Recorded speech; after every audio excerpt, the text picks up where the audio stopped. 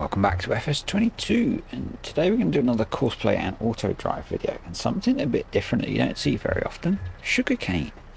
Um, someone asked about sugarcane so I thought I'd give it a try and we're going to go all the way through from uh, planting through to harvesting using the two different harvesting options. So I have the biggest planter here because planting is just a case of setting up a normal Courseplay course. So we are going to right click to bring up our mini HUD and then click on no course to get into the course generation. And uh, actually well you need to close that because we need to set our targets up properly.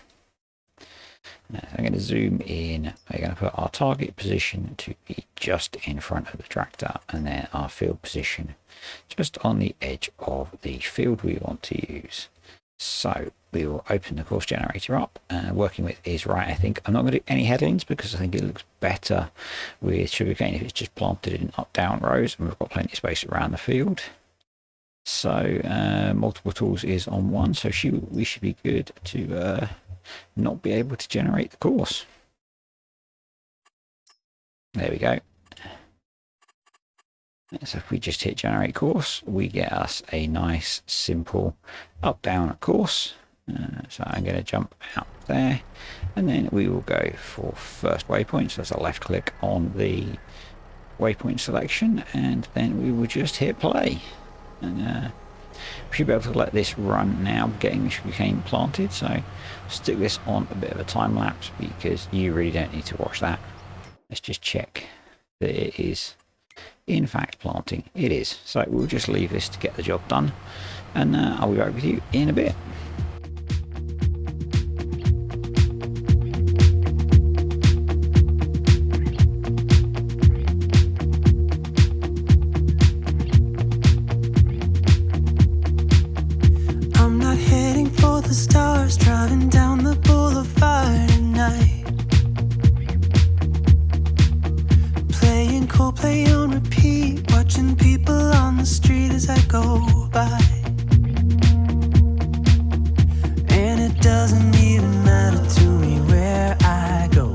Just feel I need to take a ride. Got my coffee cup to go, and I'm gonna hit the road tonight.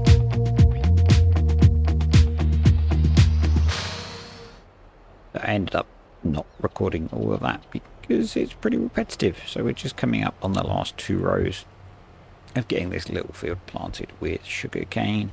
And while I've been away, I have procured all the harvesting equipment we need. And so we're going to look at three options.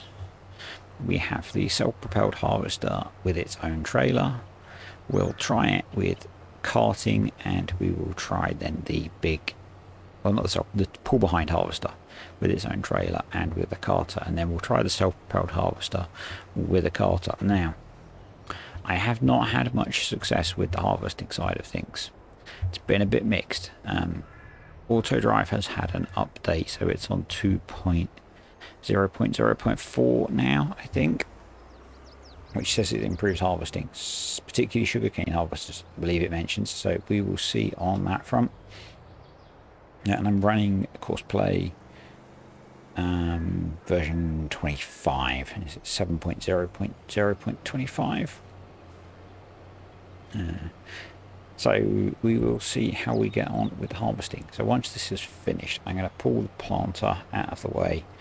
I'll skip forward a bunch of months. I don't have seasons on so we're not going to wither at all and I will be back with you when we are ready to try and harvest some sugarcane.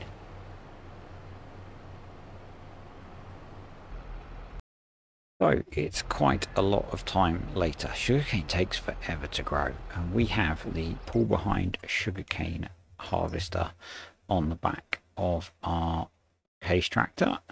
Uh, so that's a £45,000 pounds, dollars, euros harvester. So obviously much cheaper than the self-propelled option. Um, it's a single row harvester, so it's quite slow. Um, and it does six miles an hour. It can tow its own trailer, so we have that £31,000 trailer on the back. Um, if you're not aware, this is a trailer that you can then dump into a bigger trailer. It uses the front loader control, so I couldn't get it to auto unload.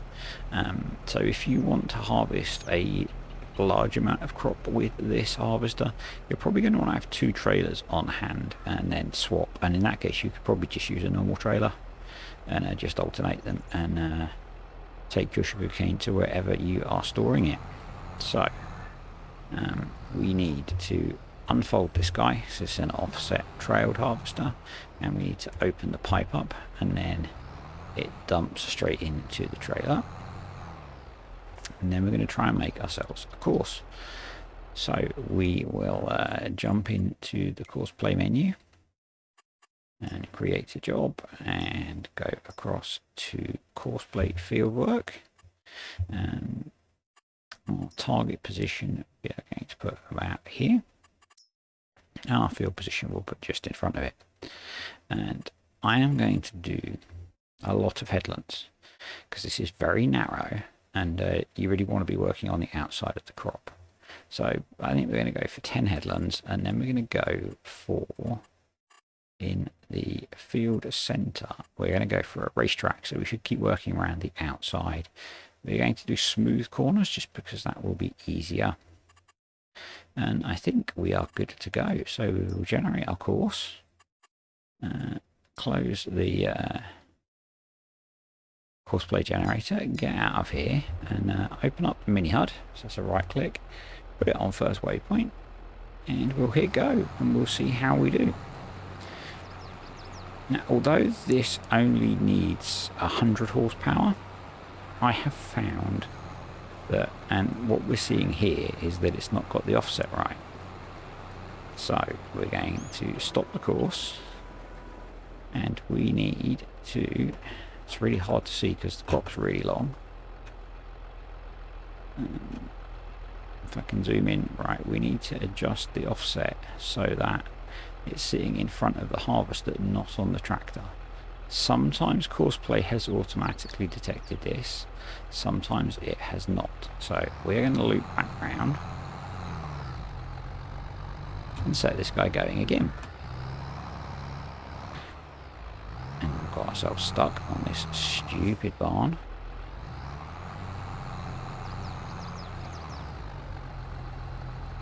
There we go. Ignore my highly professional driving. And we'll swing around again. And we'll set ourselves up and we'll go for first waypoint again. So a little bit of trial and error. And uh, hopefully now we should be good. We'll just keep an eye on things and check that we are indeed taking that first row. And I think we could probably do with being a little bit more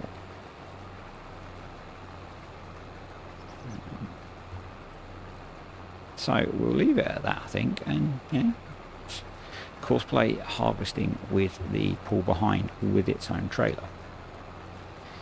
We'll just let that run for a headland, I think. I'll stick it on a time lapse just so you can see it working for a bit. And then we will uh, see if we can get it going with a carter, with auto drive. In fact, I might as well just keep talking. So uh, I don't do sugar cane very often. I keep wanting to say sugar beet because that's a crop I do do quite often. Um, but testing this has made me kind of curious as to uh, how profitable it could be, given that there's a moderately affordable harvester now. You know, seventy thousand is not too bad for the cost of a harvester. Um, and if you can get Courseplay to do that harvesting, it might be worthwhile. It's a pretty highly profitable crop, I believe. Um, it usually was in 19, although I never really did it again. Um, so it's got me curious. It's definitely got me curious. And so we're just coming round, finishing off this first headland.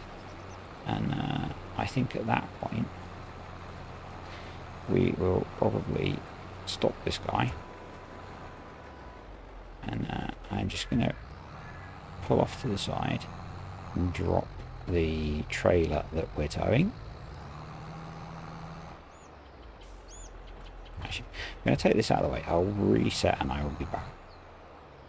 So drop the trailer off Um, what we're going to do is set this to the last waypoint, so that should take us to where we were harvesting last, and we're going to hit play on him. So he should drive up now and get into position, and then we'll set up auto drive. Okay, so we've got this Massey Ferguson with the class carrot trailer that is used for almost everything. Uh, I'm just going to get the first little bit going here. Uh, just to get around that corner. And then we'll get auto drive set up. Yeah, he's happy. Right. So, we don't really have anywhere that we're going to tip. So what I'm going to do is say so quite a lot. Um, and then we're going to get auto drive up and get into editing mode and hit record and we're going to drop a waypoint here and this will be our tip point. I'm not going to harvest enough that we need to tip. And then we're going to drive forwards. Um, so at the moment it's set up to put the points on the ground rather than above the tractor, which I'm not a fan of, but you know, we will then create another waypoint for Cane Field and we'll just loop that around.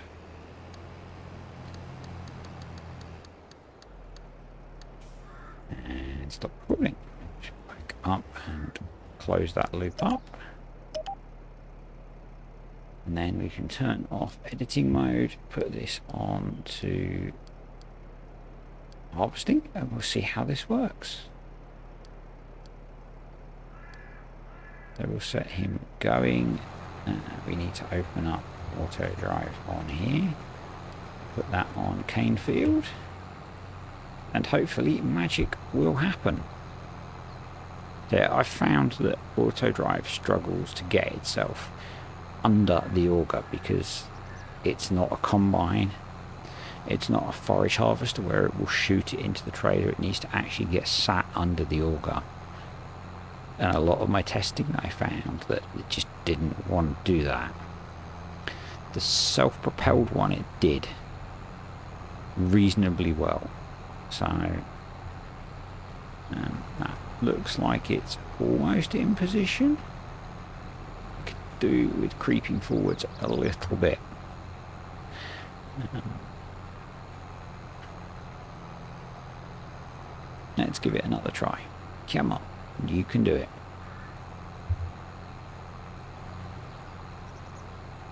You can do it. We might have to have a play with some settings in a moment.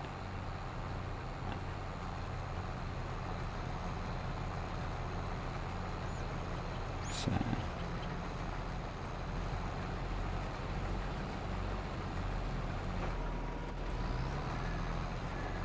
Just make sure that is queued up.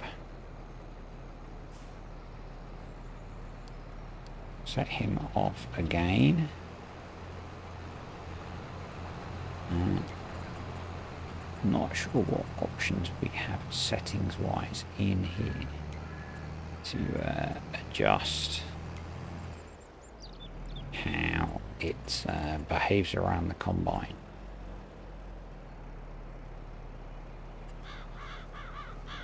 See, that's side offset. We could maybe reduce this guy down to zero. See if that helps. Come on, come on, all the way forwards. You're so close. You're so close. Okay, I am going to try a different trailer. Bear with me. I've just swapped to the sugarcane trailer. We'll give this a try see if the uh, tractor can tuck itself in in the right place. As I said, I did have a lot of problems with this when I was testing it, and I was hoping that the update to auto drive had fixed it, and uh, it is appearing like it may have not. And in which case, the way I would run this is I would have course play on the harvester, and you're going to have to cut yourself. So it's as simple as that, I think. It's just stopping short.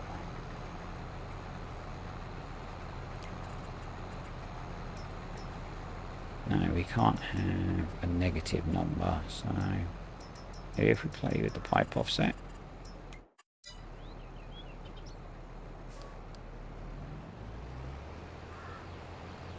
Last attempt. And then we'll uh, switch to the self-propelled harvester.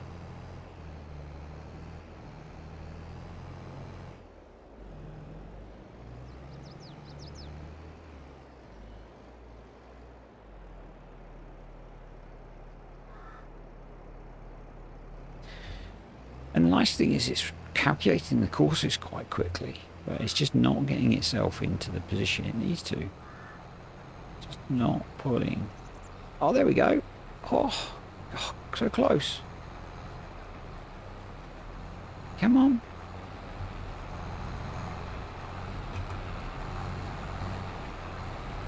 And if there are issues with collisions on the two tractors, let's uh, try turning off collision detection.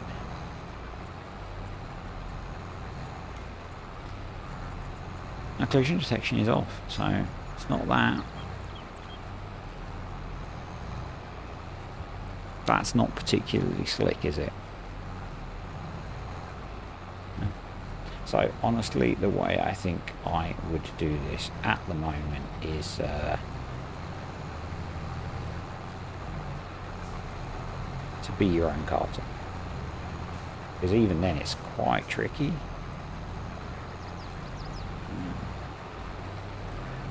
To, uh, to get in the right spot to keep this guy moving.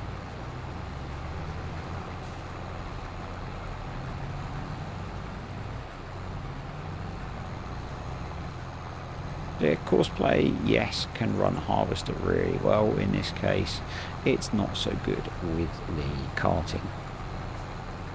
So, let's get ourselves switched over to the self-propelled harvester and we'll see if we have more luck with that. We are now into massive overkill, financially wise at least. Um, so this the big old case self-propelled harvester. I say big, it's got a working width of two meters. So let's get ourselves a fresh course set up. Um, going to go for something similar. So we are going to go for the racetrack course with smooth corners on the headlands. We are going to do a lot of headlands. And I forgot to set up with my points. So target position, field position, open the course generator, generate us a course. Probably too many headlands would be my guess. Yeah, there we go. Uh, this is a much slight, slightly wider implement. I think it's double the width. So obviously we just had too many headlands there. So I am going to go start job on this one. And we'll see that it will drive to roughly where I dropped that first point and then should pull forwards to the first point on the course. Um, it's obviously going to do a lap because there isn't really any crop there. Might get stuck at the headland, not sure. Um, but we're going to jump in the John Deere 8R with a big old trailer on the back. And uh, open up course play. Not course play, auto drive. Put ourselves into harvester mode. Uh, undo. That's oh, cool. It's uh, it's not change the settings for the individual tractors. We will hit go. We will set this guy up for the cane field and hopefully we will be good to go. This worked much better when I tested it. It's uh, got a longer auger so it's easier for the tractor to get under it. It's offsets to the side so we don't have the issue of collisions and off we go. Uh, we just need to find some sugarcane to harvest. There is a tiny bit that's obviously holding it up. Um, but if you think big scale sugarcane farming, then this is your way to go. You could obviously have multiple carters set up, much like we did with the uh, combine and the forage harvester, and then have the them running back to a silo or something like that to store your sugarcane in. I'm not sure where you store sugarcane I don't think I don't, I've got vague recollections of using this harvester. That was my mic falling over. Should have edited that out. Yeah, I've got re vague recollections of using this harvester, but I don't remember where. I don't remember doing it in a very long time. So, uh, yeah, I don't. I probably just sold it straight off the field because it would have been when I didn't have a clue what I was doing. Just see how auto drive handles the corner. Hopefully, it won't back all the way up to the barn. Realistically, you wouldn't use a field this small, so we probably wouldn't be having these long delays as uh, auto drive sorted itself out for the corners It's probably going to do some weird loops because it's auto drive.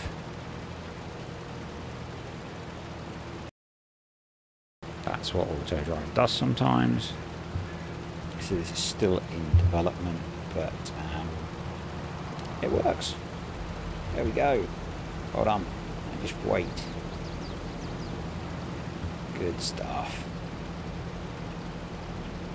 So we did all that waiting for probably what looks like a litre and a half of sugarcane.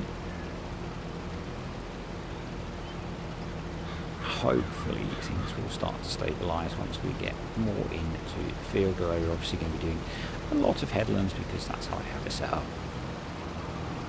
Um, the nice thing about this harvester is it does have some sort of small tank. Um, so it can do a little bit before it panics if the carter isn't there and I know we're going around an empty headland at the moment. We're very soon going to be done with that and we should get into doing this properly, but the carter's in the right place. The uh, harvester is behaving and we are coming up to some sugarcane to harvest. This one's twice the width of the pull behind that we were using, so uh, that's why this first bit we're not getting much crop off, because we did one and a bit headlands. I am curious about the pull behind for small scale sugarcane farming.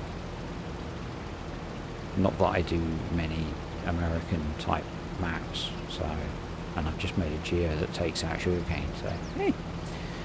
Um, while we wait, I do have another geo coming, which is very different to the UK one. It is a fast growth geo, so um, you need seasons on still, but the crops will grow much more like they did in FS19. And pretty much everything grows in about two days, two months. So if you have it on one day months, pretty much everything grows in about two days. So if you're interested in that, that should be out in the next day or two. It might come out before this video, actually, depending on how I get things recorded. So yeah. Also working on some other things around geos and weather and stuff. So keep your eye on the channel if you are interested in those. And we should now see the harvester cross into the second headland and actually have something to harvest. There we go.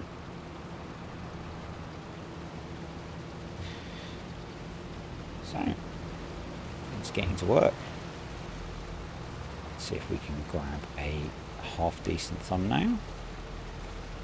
Something that I am not the best at grabbing, but that looks sort of okay.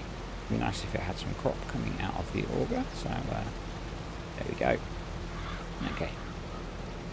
So how's the carter looking at? A whole thousand litres of sugarcane. Wow. We are not going to be supplying Pepsi or Coca-Cola with all their sugar needs. But we are running nice and steadily. So I think that shows that actually auto drive is pretty good with uh, this combination just not so good with the pull behind and I think that's probably just because it's so small that maybe there are issues with collisions and things and it's just uh, yeah auto drive's just not getting itself into the right place or something's not quite set up right with uh, the uh, auger on that pull behind sugarcane harvester the space game one so it should be obviously something is not working right there. But this guy definitely is. So I think we've you know pretty much shown that this works. So I'll just leave this to run uh, with a bit of music in the background to finish the video off if you found this useful at all do you do sugarcane um, then uh, leave me a like leave me a comment we've uh, we've, if you're not already, subscribe as well. We've explored again the uh, the subtleties of trying to use auto drive and courseplay together. Um, yes, these are tutorials, but they're tutorials of beta mods, and we're all kind of learning still about what works. Um, so I had tested the pull behind before, and I had similar results. It sort of might work occasionally, and I was hoping that the up, so the update of auto for auto drive happened between me doing that testing and recording this video, and I was hopeful that auto drive was just going to do that a little bit more, but it didn't quite get there. Uh, I'm sure it will. I uh, fully expect that the uh, team that produce auto drive will get that sorted and get it working. Um, it's probably a bit of an edge case. How many people really do sugarcane?